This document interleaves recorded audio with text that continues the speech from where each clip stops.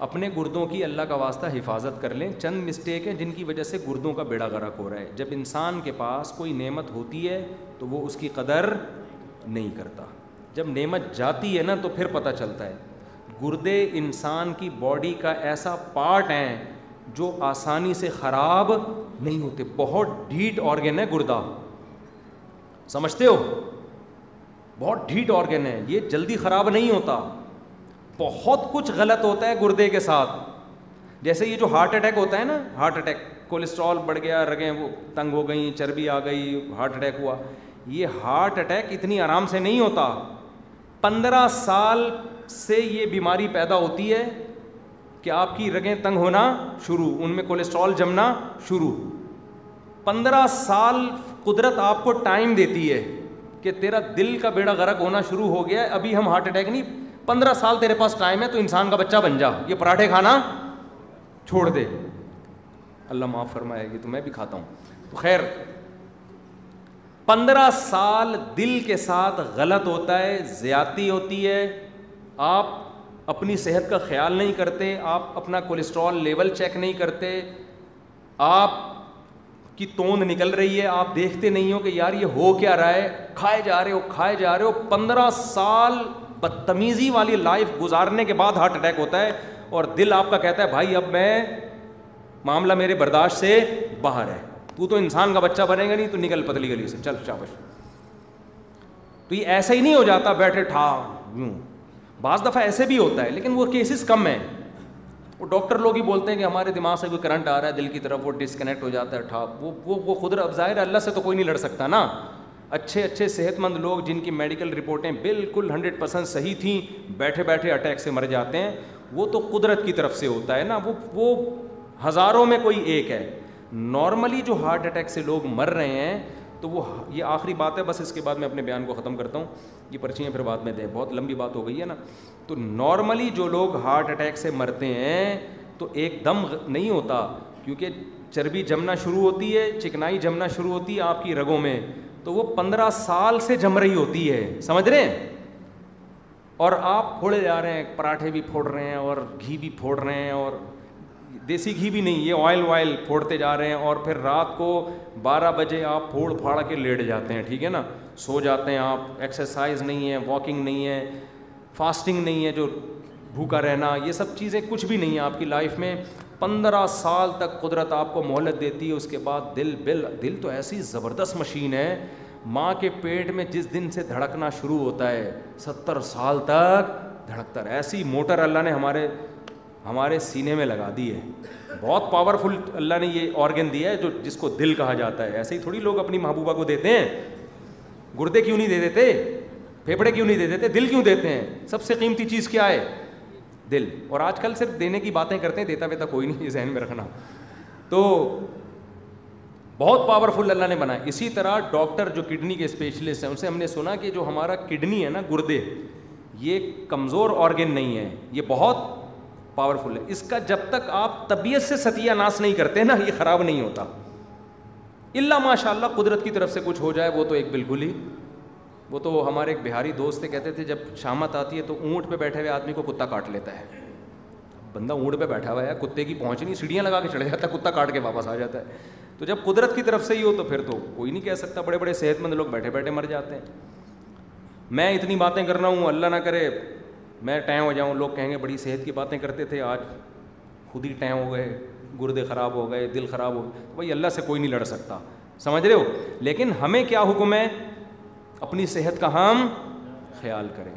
हर दूसरा आदमी blood pressure का मरीज़ है किडनी ख़राब हो रहे हैं हार्ट अटैक हो रहा है ब्रेन हैमरेज हो रहा है तो इंसान के बच्चे बन जाओ मेरे भाई। सारी दुनिया के हकीम डॉक्टर एक चीज़ पर मुतफ़ हैं कि आप 40 साल के बाद अपना वेट ना बढ़ने दें। अभी मैंने नादिर अली को इंटरव्यू दिया ना, मैं बहुत बारीक आ रहा हूँ उस इंटरव्यू में। नादिर अली भी कह रहे यार, आप पहले तो थोड़े मोटे थे, इतने बारीक क्यों हो मैंने कहा, शुक्र अदा करो, मोटे नहीं हो रहे। क्या हो रहे हैं? बारीक हो रहे हैं। तो अच्छा है वज़न नहीं बढ़ रहा, ये ये खुशी की बात है, ये कोई गम की बात नहीं है। चालीस साल के बाद मोटा होने पर गवर्नमेंट की तरफ़ से पाबंदी होनी चाहिए। समझ रहे हो? जितना खाना फोड़ना फाड़ना है, चालीस साल तक, वो भी एतदाल से, ऐसा नहीं कि उसमें फोड़ा जा रहा है, फोड़ा जा रहा है। फिर भी चालीस साल में गुजारा हो जाता है। अब तो चालीस साल से भी पहले लोगों के साथ मसाइल हो रहे हैं। तो बचपन से ही सही खुराकों की आदत डालें बच्चों को। तो आपने कम से कम चालीस साल के बाद ये करना है। अपना लिपिड प्रोफ़ाइल का एक टेस्ट होता है। उसमें आपकी पूरी हिस्ट्री आ जाती है कि कोलेस्ट्रॉल आपका कितना है एचडीएल और बाकी जितनी कोलेस्ट्रॉल की किस किस्में वो सारी रिपोर्ट आ जाती है। किसी अच्छी लैब से करवाएँ। समझ रहे हो ना? ये लाजमी करवा लें और बास डॉक्टर मना करते हैं, टेस्ट ना करवाएँ। वो भी ठीक है, ना करवाएँ आप टेस्ट। आप ये देखें तोन निकलना तो नहीं शुरू हो गई, बस इतना टेस्ट करवा लें। अगर इस किस, ना करवाएँ आप कोलेस्ट्रॉल वगैरह, टेस्ट ना करवाएँ, बास डॉक्टर कहते हैं, इससे वहमी हो जाता है, वो खैर डॉक्टरों का ही इख्तलाफ है इसमें।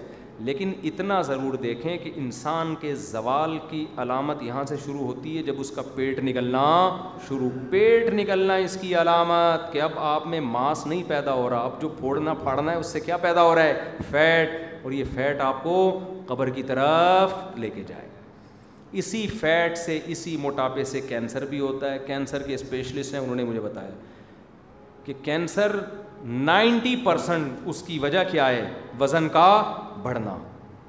वज़न बढ़ने से मुराद चर्बी वाला वज़न। दूसरा, इसी से हार्ट के मसाइल पैदा होते हैं फैट की वजह से। इसी से शुगर इसी से ब्लड प्रेशर और गुर्दों की वाट लगाने में माहिरीन ये कहते हैं कि शुगर और ब्लड प्रेशर का सबसे ज़्यादा दखल है। समझते हो कि नहीं समझते? गुर्दों की जो ऐसी की तैसी करवानी है ना तो शुगर और किससे? ब्लड प्रेशर से। क्योंकि ब्लड प्रेशर से जब ब्लड का प्रेशर बढ़ता है तो गुर्दे की नालियाँ कमज़ोर होती हैं। और जब शुगर होती है तो वो शुगर जमना शुरू हो जाती है तो फिर आदमी डायलिसिस पे आ जाता है। तो अपने आप को दो चीज़ों से बचाओ, एक ब्लड प्रेशर से और एक किससे? शुगर से बचाएँ। कैसे बचाएँ? डॉक्टर लोगों से पूछें, वो बता देंगे आपको, लेकिन दवाइयों पे ना आओ आप।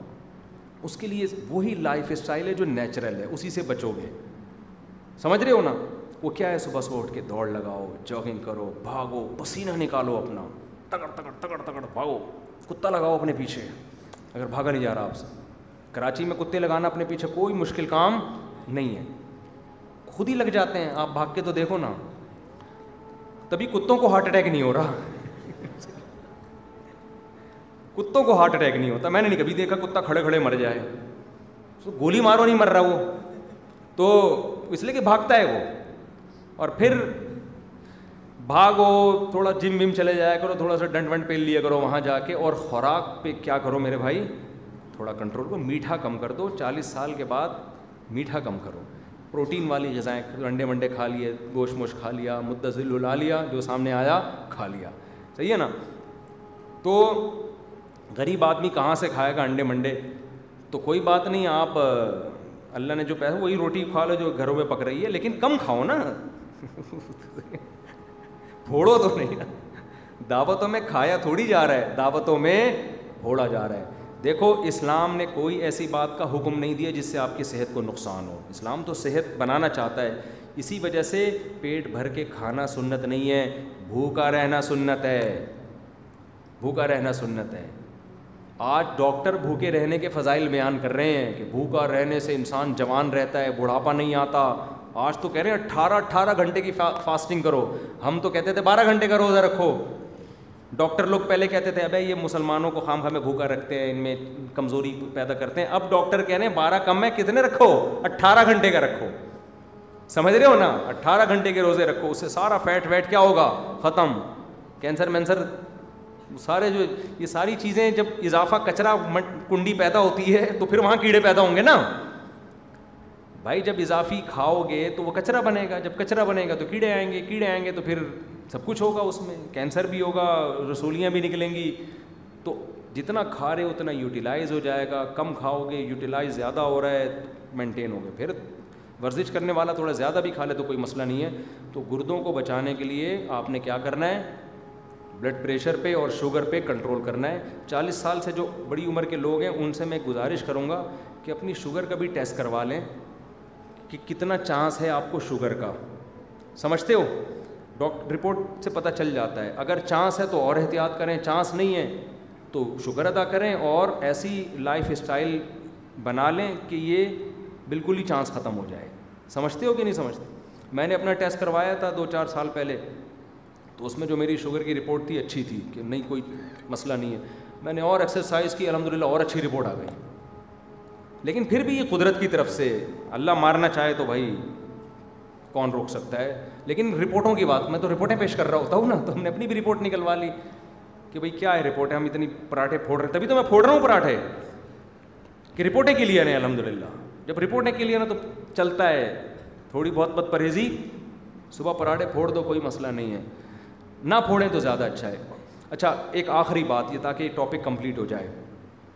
देखो, इस वक्त पूरी दुनिया के माहरीन ये बोल रहे हैं कि खुराक में ना देसी चीज़ों को लेकर आएँ मसनू चीज़ों को, कंपनियों की बनी हुई चीज़ों को अपनी खुराक की लिस्ट से निकालें।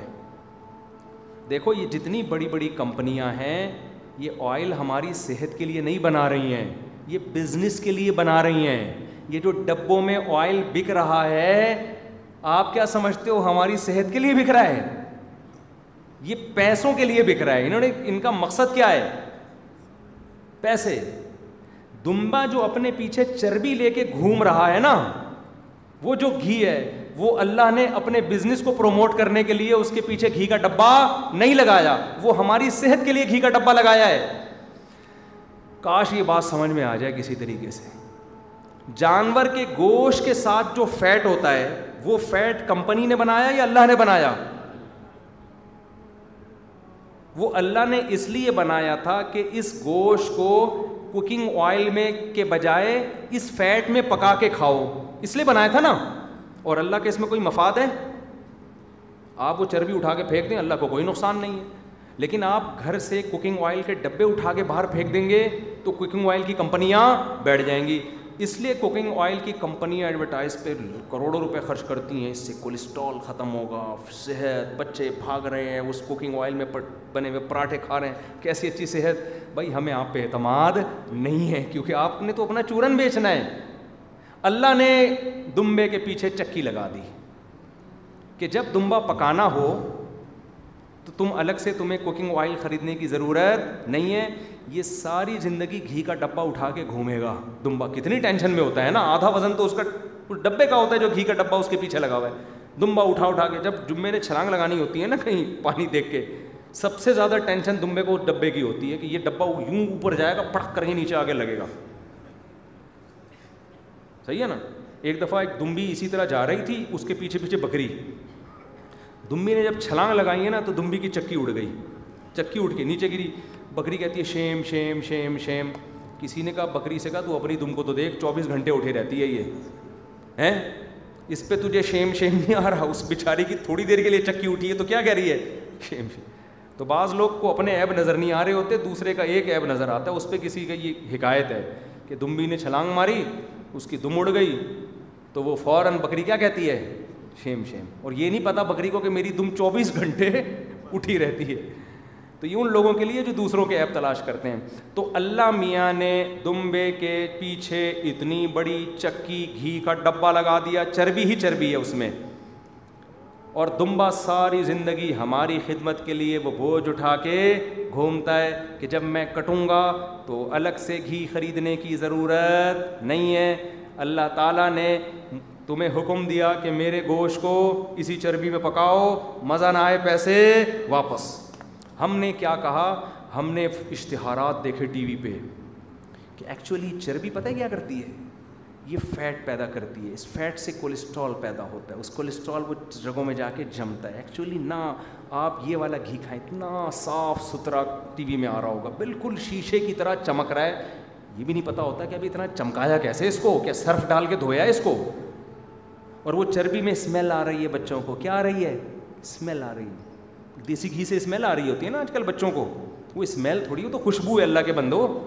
उस खुशबू को तुमने बदबू कह दिया। तो मेरे मशवरे पे ना आप कुछ दिन चर्बी खाएँ। घी को अपनी मार्केट से क्या कर दें? निकाल दें। आपकी सेहत हटो बच्चों, ना हो जाए ना, मेरा नाम बदल देना। आपकी पेट की बीमारियाँ ख़त्म होंगी, आपका कब्ज़ ख़त्म होगा, आपका कोलेस्ट्रॉल लेवल पे आएगा। आपको ऐसी सेहत, आपको चार शादियों वाले बयानात समझ में आना शुरू हो जाए हकीकत बता रहा हूँ अब बोलोगे, यार, शादी तो चार ही हैं, ये तो ये कैसे हो सकता है? तो आप चर्बी खाएँ, बैल की चर्बी खाएँ, गाय की चर्बी उसी गोश्त में पका के खाएँ, थोड़ी सी फिर हिले जुले भी, ऐसा ना हो कि चर्बे फोड़ते रहें और दुम पड़े रहें वहाँ पे, फिर तो पड़ जाएँगे धमाके के साथ। तो हिले जुले भी आप नेचुरल चीज़ों पे आ जाएँ, देसी घी पे आ जाएँ, आप अच्छा जैतून का तेल अगर खाना है तो कच्चा खाना पड़ेगा, पका के नहीं खा सकते। तो ज़रा आएँ तो सही ना हमारे मशवरे पर। देखो आपके मैं आखिरी वाक़ बस बताता हूँ, उसके बाद बयान सच्ची मुच्ची का ख़त्म। सच्ची मुच्ची का ख़त्म। एक आखिरी वाक़ बताता हूँ मैं, सच्ची मुच्ची का ख़त्म फिर। हमारे घर वालों के कहीं दोस्ती थी, कोई क्लास फेलो होते हैं ना, जैसे बचपन की कोई दोस्त होती हैं तो हमारे जब मेरी शादी तो मेरे घर वालों ने मुझे कहा करीबन चौदह पंद्रह साल पुराना है कि उन्होंने अपनी किसी सहेली से मिलने के लिए जाना है? वो बड़े गरीब लोग हैं तो मुझे कहा, आप भी चलें। तो मैं चला गया घर वालों को लेके। अच्छा मैं जब उनके घर गया तो मेरे घर वालों ने बताया था, बहुत गरीब लोग हैं वो, खाने को रोटी नहीं है, बहुत गरीब हैं, बहुत बहुत गुर्बत का नक्शा खींचा ना। मैं भी कहा यार, बहुत ही गरीब होंगे जब इतना ज़्यादा बताया जा रहा है। तो वाकई किसी कच्ची आबादी में मैं गया तो टूटा फूटा घर। बहुत ही गरीब लोग। खाने के लिए बर्तन नहीं उनके घर में। फर्श टूटे हुए।